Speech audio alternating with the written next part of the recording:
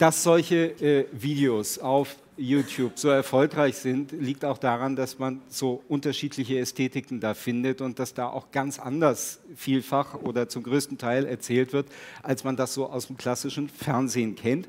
Und darüber, nämlich über neue Formen des Storytellings im Netz, möchten wir etwas hören, jetzt von Stefan Heckel, CEE Weiß. Habe ich das jetzt richtig gesagt? Völlig richtig. Danke sehr. Danke für die Einladung auch. offenen Fenster eigentlich? Nein, da war vorher super Musik. Ich habe es genossen. Okay, gut. Ähm, danke für die Einladung. Schön, dass ich da sein kann. Ähm, ich versuche jetzt auch in zehn Minuten uns kurz vorzustellen. Ähm, deswegen habe ich nur zehn Slides mitgebracht. Das muss kurz und knapp gehen irgendwie. Und versuche auch den Titel der ähm, Präsentation damit einzufangen. Ich weiß gar nicht, ich glaube, ich rede in das Mikrofon genau. Was wir eigentlich machen, ähm, man kennt uns in Österreich mittlerweile immer besser, aber vielleicht international noch besser. Uns gibt es in 34 Ländern. Ähm, international seit 1994, in Österreich seit 2007. Ich habe es zu zweit gegründet. Wir werden heuer zehn Jahre alt. Ähm, wir feiern drei Tage lang, drei Tage wach, weil wir einfach jung sind und nicht schlafen und wir Millennials sind und das brauchen wir so.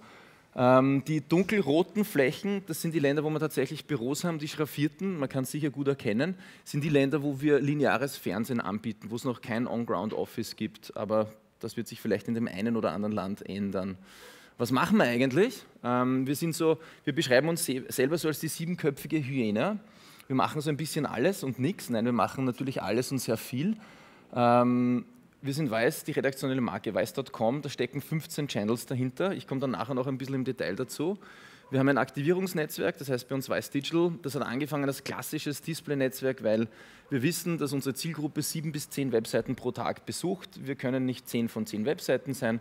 Also wollen wir auf den anderen neuen wenigstens unsere Werbung, Kampagne und teilweise auch Content-Seeding stattfinden lassen. Weiß Digital vergrößert unsere Netzwerke beim, durch einen Faktor von 10 ungefähr pro Land. In Österreich erreichen wir damit jetzt 10,2 Millionen Uniques. Eine Million auf weiß.com für alle, die voll mitgerechnet haben. Das stimmt auch, komme ich nachher noch dazu. Wir sind eine Agentur, wir heißen Virtue. Weiß ist der Laster und Virtue ist die Tugend. Wir sind auch sehr lustig in der, in der Namensfindung natürlich. Ähm, wir sind in Wien jetzt 140 Leute, wir sitzen am Karlsplatz. Ähm, ja, und die Agentur ist ein Teil davon. Das ist noch kein Teil davon in Österreich, sonst würden das wahrscheinlich alle wissen, die heute hier sitzen. Aber wir machen auch lineares Fernsehen. Jetzt kann man sich fragen, so, boah, die jungen digitalen Wüden machen jetzt genau das, wo alle davonrennen. Kann man danach auch gerne drüber reden, würde mich auch sehr freuen, weil wir sehen das ein bisschen anders. Ähm, wir wollen auch dort sein. Warum wollen wir dort sein? Weil wir finden, wir haben einen anderen Zugang zum Storytelling gefunden. Wenn wir das machen würden, was der Shane Smith 1994 angefangen hat, ein sehr punkiges, 16-seitiges Printmagazin, würde ich heute nicht hier stehen. Dann würde man das auch alles nicht haben und das wäre alles nicht hier. Ganz einfach. Wir haben uns aber dann immer gedacht, wir müssen plattformagnostisch sein.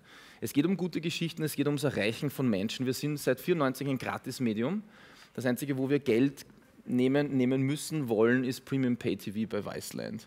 Das heißt, wir sind überall zu Hause. Wir sind auch auf YouTube, wir sind aber auch auf Facebook, wir sind überall. Wir haben unsere eigenen Plattformen auch gebaut. Wir bewegen uns entlang, wenn man so will, der Customer User Journey, wie immer man das nennen will, eines einzelnen Menschen von früh bis spät. Wir wollen nicht sagen, das ist die bessere Plattform, das ist die schlechtere Plattform. Wir wollen eigentlich per se mal basisdemokratisch mit allen arbeiten und unsere eigenen äh, Erfahrungen machen, um dann auch Teile wieder rückgängig zu machen. Ähm, wir versuchen ständig neue Distributionswege dazu zu ähm, äh, addieren zu unseren Distributionswegen und wir wollen skalieren. Es geht im Endeffekt um Eyeballs. Wir wollen eigentlich unsere Reichweite erweitern. Ich glaube, das will jeder Publisher. Wir sind ein Publisher, alles andere wäre ein bisschen sich in den Sack lügen. Ähm, wir sind eine Erfolgsgeschichte zum Glück. Auch deswegen kann ich heute hier stehen jetzt die österreichischen Zahlen. Wir erreichen jetzt in Österreich jeden 16 können sicher durchzählen und es wird sicher so sein, dass jeder 16. uns vielleicht doch nicht kennt. Das liegt dann vielleicht auch am Altersschnitt, weil wir sind im Kern 20 bis 29, wir sind ein Millennial-Medium und wir erreichen dafür dann jeden Sechsten in Österreich. Wir haben eine gute Dwell-Time, ungefähr fünf Minuten. Die haben wir, und so ehrlich sind wir auch, 50 Prozent von unserem Traffic generieren wir über Social Media. Da gehört dann auch YouTube dazu, da gehört dann auch Facebook dazu. Wir wissen, dass der klassische URL-Traffic ist ja, weiß ich nicht, Startseiten, wer das noch macht, ähm, eh, gibt es eh noch, aber es wird weniger. Das heißt, wir verwenden das ganz klar auch als Traffic-Generatoren, was auch ein Grund ist, warum wir auf all diesen Plattformen mit unterschiedlichen Content-Angeboten vertreten sind eigentlich. Wie funktioniert das bei uns? Ich habe vorher schon gesagt, wir haben mehrere Channels. Im Kern ist bei uns weiß.com. Das ist so die eierlegende Wollmilchsau, das ist die Einflugschneise für alle Themen. Wir haben im Endeffekt 15 Themen, denen wir uns mit eigenen Verticals, das sind digitale Channels, widmen. Da gehört Sport, Weiß Sports, Noisy Musik und so weiter und dazu bis hin zu Broadly, da widmen wir uns äh, ausschließlich weiblichen Themen für die Frau, die von klassischen Medien ein bisschen zurückgelassen wird. ID, Fashion, Munchies, Essen und so weiter und so fort. Was wir machen ist, wir überlegen uns bei jedem gepublishten Artikel, hat, welchen Kernschwerpunkt hat denn das noch? Was ist denn dann so der klassische Hashtag? Wenn der Action Bronson, der ein ehemaliger Koch ist, auf Munchies eine Foodshow hat, aber gleichzeitig ist er Rapper, weil das ist er auch, und gleichzeitig ist er auf Tour, ist es offensichtlich passend für Munchies und für Noisy. Das heißt, wir filetieren dann auch die Content-Geschichten je nach Aufhänger. So hat Action Bronson ein Noisy-Format und ein Munchies-Format, das sich gegenseitig befruchtet. Wir verwenden dann den Google-Algorithmus, um diese, ähm, also die Verbindungen zwischen den Contents auch dort zu nutzen. Und das zieht sich über alles. Das sind nicht 15 Bullet Points, das soll auch nur schematisch sein, weil wir haben ja, ui, das zerlegt es ein bisschen, sehr leserlich. Ich prüfe das nachher, dass jeder lesen kann. Ähm, das ist unser Weiß Digital Network. Das heißt, wir haben diese Verzehnfachung der Reichweite, wo wir Partner-Webseiten haben. Wir haben weltweit 600 Webseiten unter Vertrag. Da ist Heiß Beite dabei, wie das kleinste Blog in Österreich, wo es uns tatsächlich auf Reichweite innerhalb von unserer Zielgruppe zu dem Themengebiet Essen und Musik, bleiben wir beim Action Bronson, und dann suchen wir uns die Partnerseiten in Österreich, die, uns dann helfen, diese Kampagne in Österreich zu skalieren. Und das Ganze funktioniert sowohl auf Aktivierungsseite, das heißt im Displayraum, als auch im klassischen Editorial-Bereich.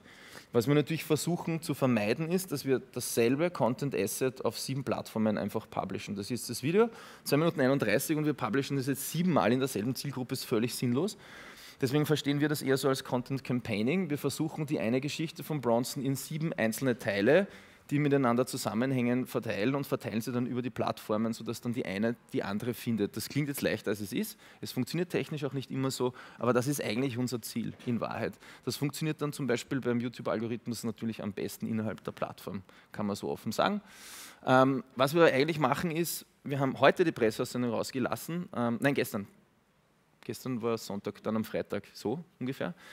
Ähm, wir sind auch Snapchat Discover Partner für den deutschsprachigen Raum.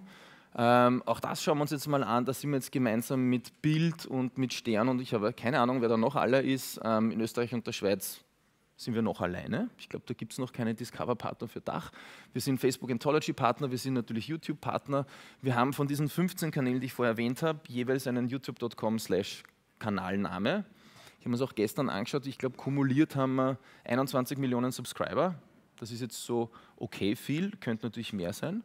Ähm, auf der anderen Seite geht es uns jetzt nicht wirklich um die Subscriber-Reichweite per se, sondern wir wollen ja eigentlich Time spent with a Brand. Ich schaue mir jetzt den Action Bronson auf YouTube an und kriege dann über die Recommendation Engine ganz viele andere Videos von uns auch noch angespielt, äh, ausgespielt oder angezeigt. Darum geht es uns eigentlich. Apple Music, Tumblr, äh, Twitter Amplify und was relativ neu ist, wir haben jetzt ein Gaming-Portal gelauncht, das war Ende letzten Jahres, Waypoint heißt das, gibt es noch nur englischsprachig und haben jetzt einen Twitch Live-Channel, der jetzt gerade so noch klein ist, sagen wir mal so.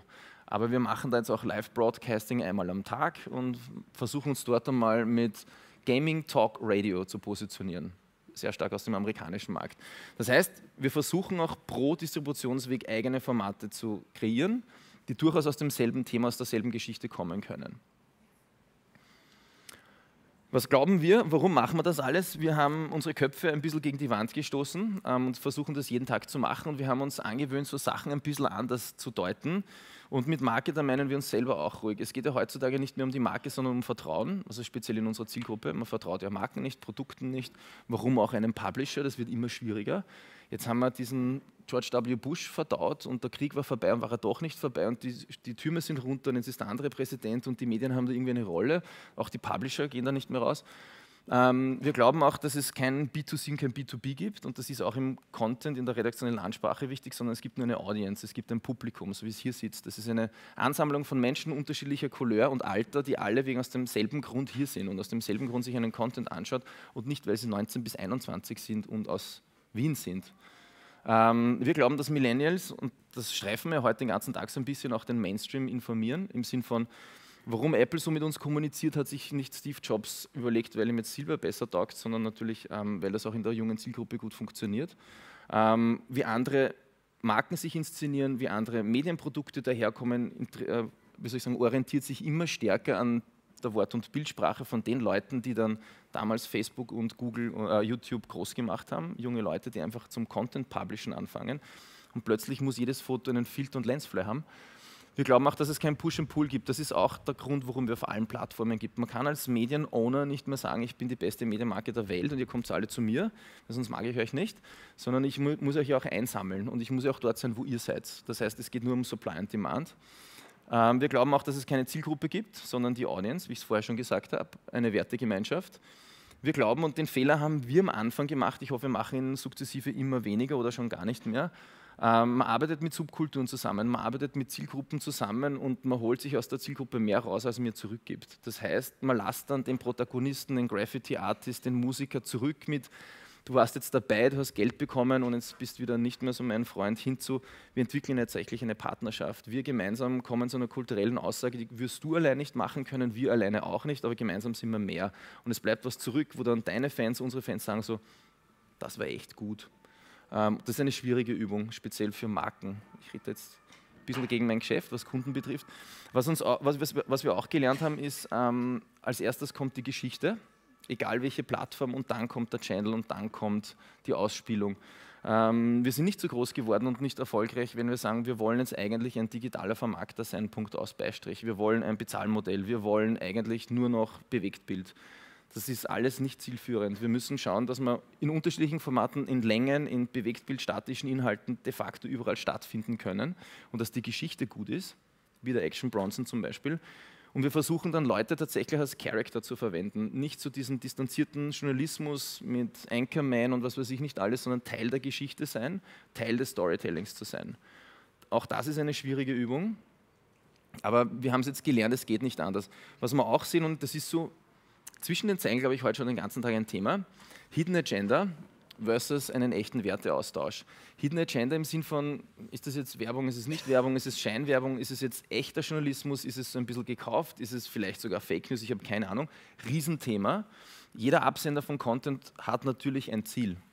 Das Ziel ist, ich habe Fame in meinem Freundeskreis. Das Ziel ist, ich werde groß, ich verdiene Geld oder das ist mein Job, was auch immer das Ziel ist. Oder ich möchte eine Revolution starten oder ein Movement oder einen Konterpunkt in der Meinung, im, im Meinungsdiskurs setzen. Und der Punkt ist, das muss man von Anfang an klar kommunizieren, das muss von Anfang an klipp und klar sein und es muss zu einem Werteaustausch kommen, weil in unserem Business, und wir sind jetzt gratis Publisher, ist eigentlich der Werteaustausch ist die Aufmerksamkeit. Wir sind schon dankbar, wenn uns die Leute zuhören. Wir haben es vorher gehört, 300 Stunden in der Minute. Ähm, ich habe eine andere Studie gelesen, ich weiß nicht, ob sie stimmt, aber ich habe gehört, dass ich glaube, knapp 90 Prozent des YouTube-Contents hat weniger als 100 Views in der Größenordnung. Also im Sinn von, dass man durch die Flut des Contents hervorsticht, dann muss das Storytelling gut sein, natürlich die Engine dahinter. Und das geht nicht, wenn man die Leute ein bisschen für blöd verkauft. Und das Ganze ist eine Reise. Ich glaube, auch deswegen sind wir heute hier, wenn ich das richtig verstehe. Ähm, das ist jetzt eine erste Informationsveranstaltung zu diesem gesamten Thema. Wir begreifen uns selber als, wir sind auf der Reise. Wir sind auf der Reise seit 13 Jahren, global, seit, äh, seit 13 Jahren, seit 94. Ich kann sehr gut rechnen. Ähm, seit 10 Jahren in Österreich und wir sind noch lange nicht dort, wo wir hinwollen. Wir wollen in Österreich bis hin ins klassisch lineare Fernsehen. Ähm, und damit bin ich jetzt auch schon am Ende. Warum wollen wir dorthin? Wir glauben, dass die Diskussion der Zielgruppe ist nicht der Fehler vom Fernsehen per se. Das ist wahrscheinlich eher ein Problem der Programmierung und es ist eher ein Problem, dass man Sehgewohnheiten und Wort- und Bildsprachen nicht mehr so bedient, wie man es vielleicht mittlerweile aus YouTube, Facebook oder anderen kennt.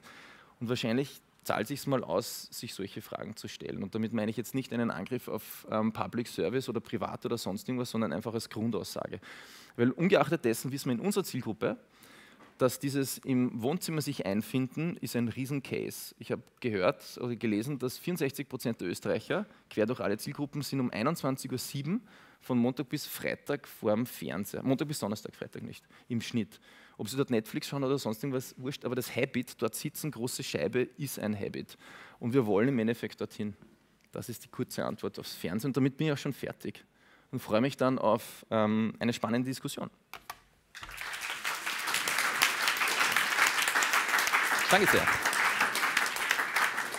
Dankeschön, äh, Stefan Heckel.